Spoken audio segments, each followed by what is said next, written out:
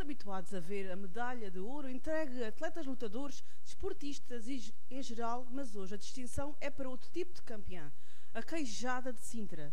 Diz que terá sido criada pelo Frei João da Anunciação no convento Penhalonga no longínquo século XIII. Frei João aproveitou a abundância de gado na região para dar uso ao queijo fresco que sobrava. Então, em boa hora, não só evitou o desperdício, como transformou um ícone da doçaria portuguesa.